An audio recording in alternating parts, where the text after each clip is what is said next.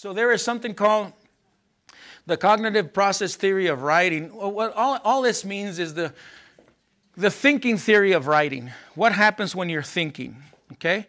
And, and I'll give you another, uh, another, the same thing, but in a, in a, in a diagram because it's easier to digest. That's why we use diagrams in, in, uh, in, in models in, in mathematics because it helps us with our working memory. We can absorb this thing almost instantly. That's what happens with a graph.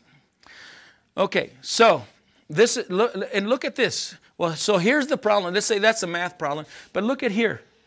Long-term memory again. That's involved, and it's outside this room here. Think of this as a room. Now, think of this as a non-linear process. Non-linear meaning, unlike you know we were taught, which I could never do in in uh, you know in our freshman high school freshman English class. Okay, Lorenzo, you need to, to come up with a um, with a subject to to do a five-page paper on. I'll say, okay, fine. Uh, didn't really want to do it, huh? So says, uh, but give me a uh, by Wednesday. This is Monday. Bring me an outline. Well, uh, I can't give you an outline because I don't know what I'm going to say. Well, you got to do some research. Well, I go and do some research, and I still don't know what I'm going to say. The best way for me to develop an outline was to do it and then, from what I did, give you an outline. Some people can do that. I'm not one of those people that can do that. But then my grade depends on it, so I try very hard to give it to them, you know? So, so think of this as non-linear. Look at this. Uh, I'll give you something else. Here's long-term memory that's, that uh, corresponds to uh, working memory. Okay, the, the, the depiction of working memory. And then here, monitor. Monitor is again executive function.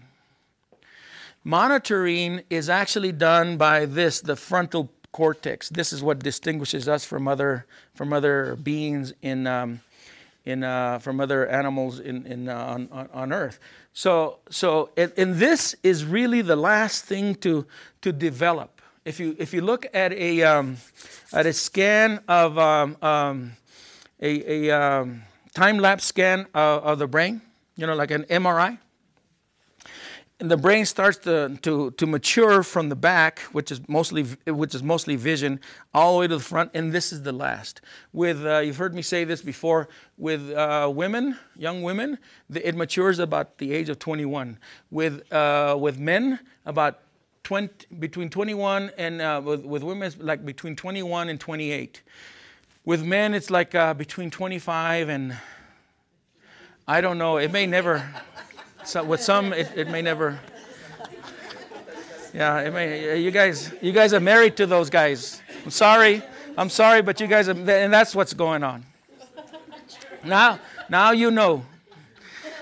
Now you know. You didn't have to wait for Oprah to say that to believe it. Uh, so, so now uh, this is why, in, in uh, you know, um, uh, insurance companies don't have never done MRI on on on people.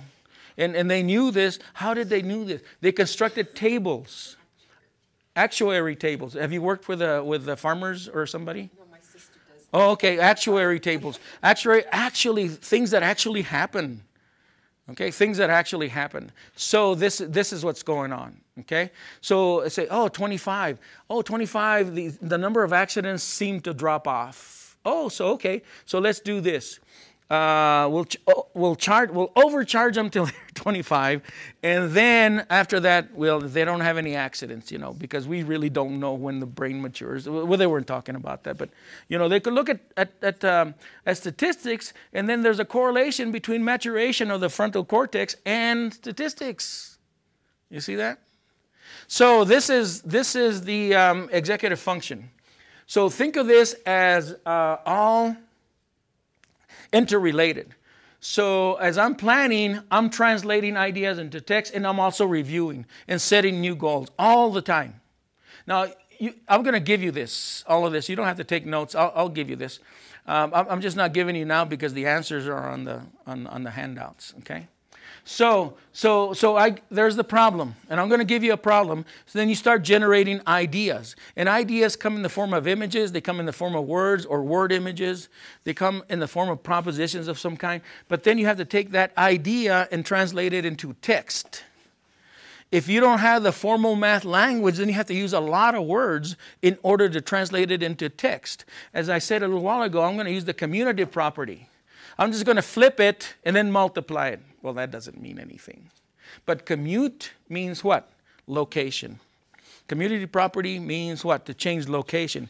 I said I'm going to use a distributive property over here. I'm going to distribute this 6 over the 6 and over the 0.5. You see that? Okay? So this is what you're doing. You're, you're translating ideas, you're generating ideas, you're translating them into text, and then you're organizing these ideas, and then you're setting goals. Okay, first I need to do this, and then I need to do this. But the goals may change. Goals may change. And uh, you may use a number line. So, oh, I'm going to use a number line. You may use a bar. You may use a, a ratio table. You may use a graph or, or both or a combination of all of these. Okay? And depending on how much you know, you can do it all. But I'll show you a graphic here for, I got from NCTM that shows five things in algebra that you should be able to do. It translates between graph and table and algebraic formulas and uh, concrete representations and uh, verbal and, and, and written discourse. Okay, so remember that this is nonlinear. You don't do this and then you do this and then you do this. This is called process writing. So you're generating ideas, you're changing those ideas into text, you're organizing them, you're evaluating these things, you're setting goals, you're revising. All of this is happening simultaneously in this space. But you need what? You need long term memory, and also you're using your working memory. All of this is happening within working memory. Okay? Is that clear? Okay. So, in a, in a problem, this is what we do usually. So uh, some, some, you know, your math teacher, your, your great math students, they, they read the text, boom, they go into the arithmetic expression or equation. That's the way we've been taught.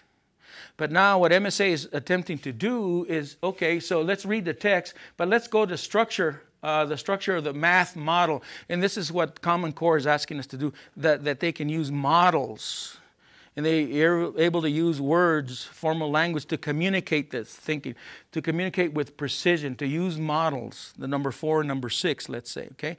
And to be able to reason, that's number one, huh? mathematically. But then you can go here and then here and then here. From between K and 5, we want them to first go here because here's where you really understand what this means, the equation. This is what really understand. This is what we want them to do. But if the teacher can't do this, then we can't do this. If we're going straight here, then here. And this is what happens when somebody's given investigations. You're given investigations and you're not trained in it and, and, and you don't buy it, you go, well, this is this is the way I do it. Boom, boom, boom, boom. And you're not they're not understanding, you know, arrays and that sort of thing. Why do we give them arrays? It's not so that they can go to the market, as I said, and use arrays. It's so that you can understand the, the, the so that you can understand the concept of multiplication. So why is 3 times 4 12 and 4 times 3 12? You know, why is that? Why does that work? Well, if you use an array, is this 3 of 4. So I have three rows here, huh? Three rows here and I have uh, what I have four columns here. Huh? I have it this way. Okay, but now if I change it to four, okay, it's a little longer. So now I have four this way. One, two, three, four, and now I have three this way. It's an area model because numbers are so abstract. I want this is why four times three and three times four is the same. It's 12. It's 12 those little units in there. That's what we want. We don't want you to go to the market and do and do this. We want you to do this in your head and be able to do that, but we want you to know why. It's about thinking. It's not, not to use that all. And teachers get confused about, oh, I need to show them a whole bunch of strategies because that's what the book. No, it's, it's showing you these things in order and if you read the, um, the, the professional development articles in the back, it'll tell you that.